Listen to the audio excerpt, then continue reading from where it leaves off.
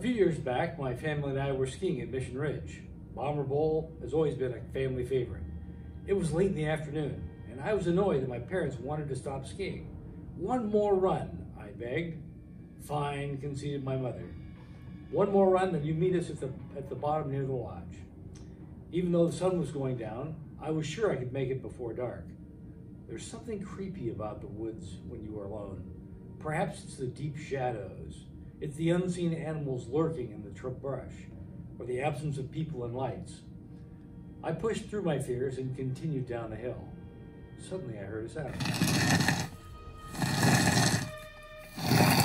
I told myself it was just the wind through the trees, but I'm not that convincing. The noise got louder and louder. It almost sounded like something heavy dragging on the ground through the woods. The hair on my neck stood on end as the eerie noise grew louder. I could hear it more clearly at this point, like crunching snow, breaking branches, and light metallic twangs. Blood rushed to my head, and my ears rang. It was then I remembered a story my father had told me, a story no one believed, a story about, about what happened on the slope in 1944. A military B-24 Liberator heavy bomber was conducting a night training mission out of Walla Walla Army Air Base. Weather conditions were worsening, but the crew was ready to persevere. Rain and wind fervently pounded the plane, which veered them off course.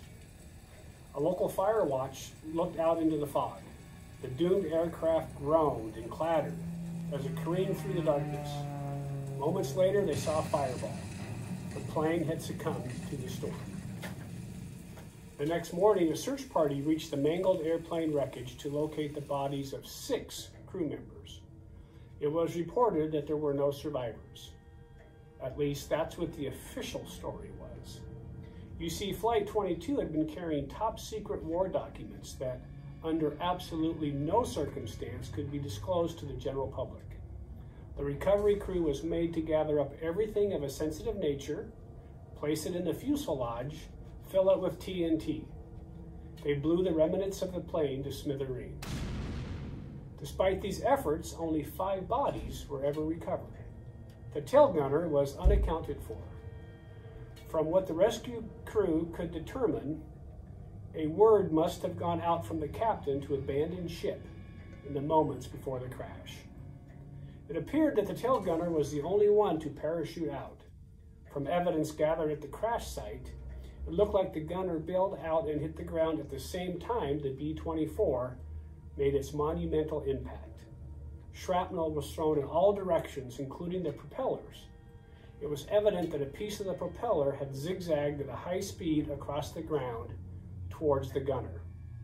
Lying on the ground, entangled in his parachute, the very thing that could have saved his life could have been his death.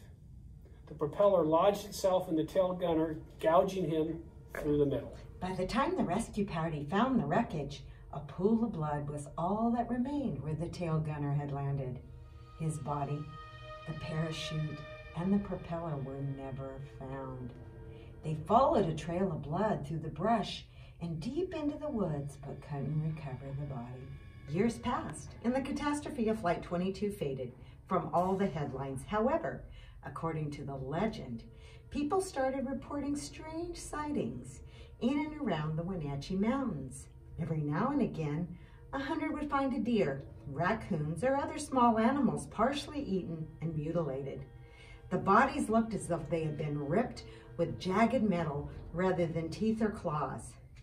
Even more strange were the claims from hikers that they had seen what appeared to be a human form in some type of metal object protruding from its side. There's no real hard evidence that these stories are anything more than outlandish tales, but they continue to persist. For many years, skiers have reported Propman sightings, including the ski patrol. They were preparing to do a training exercise on Bomber Bowl. One member was delayed because he couldn't get his boots secured into his bindings, but he said he would catch up in a few minutes. He left the ski patrol hut alone and started skiing towards Bomber Bowl. The wind was blowing hard. It was a cold and bitter wind that chilled you straight through, almost as if you weren't wearing a coat at all. The snow was swirling through the air and blocking any line of sight. He moved blindly through the cold before finally spotting what he thought to be the rest of his patrol down the hill. Hurrying on, he caught the group just as they were headed into the woods. He placed his hand on his patrol partner's shoulder, only to recoil in horror. It was a group of cross country skiers finishing their expedition. He asked if he had seen the rest of the patrol. One of the strangers pointed out that he could catch a spur trail just up ahead that would make, take him north to Bomber Bowl. Taking the shortcut would most likely enable him to catch up to his group, but he was reluctant. Alone in this weather, he would advise others not to go on. He had to catch up and continue the training exercise. The decision was made.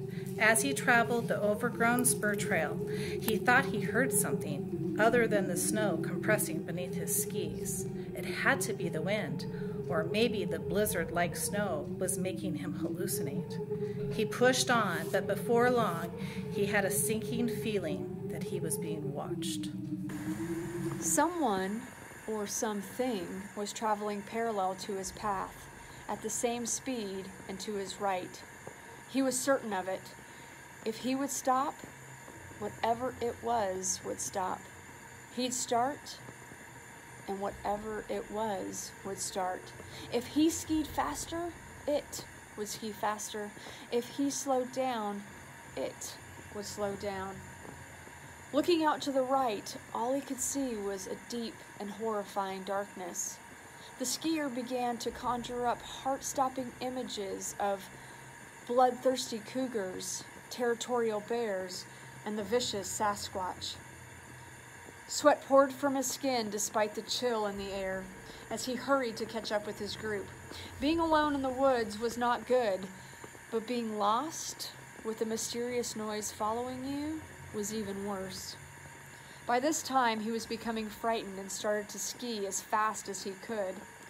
Up ahead, he could see a sharp bend in the trail to the right, and he knew he was about to face his pursuer.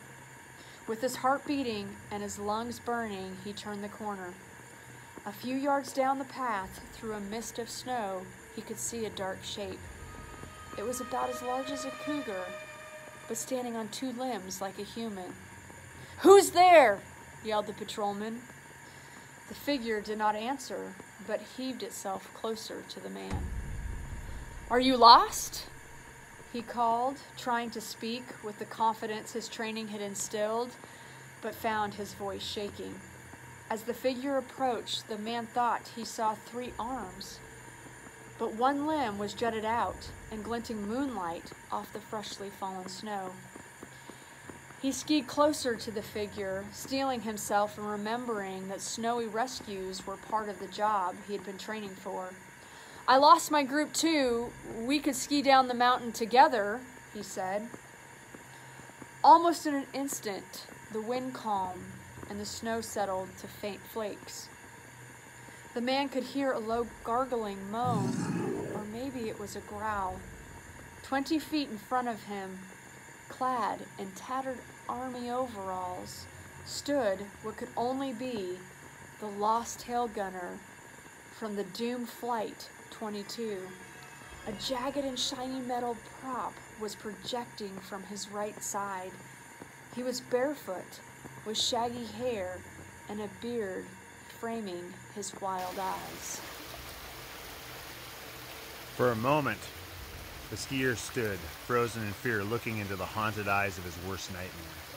In the moonlight, it looked less like a human and more like a grotesque creature.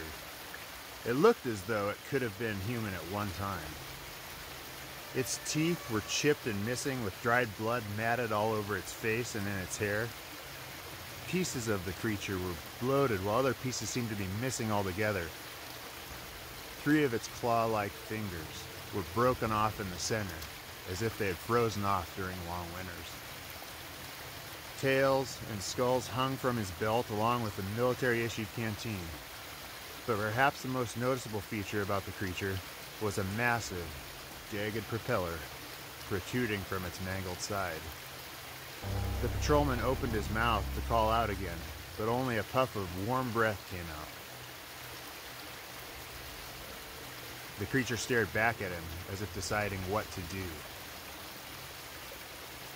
The skier was paralyzed, not knowing his fate. What was this thing? What did it want? Was he going to get out of this alive? Moments passed that felt like years before the sound of others wafted on in on the now gentle wind.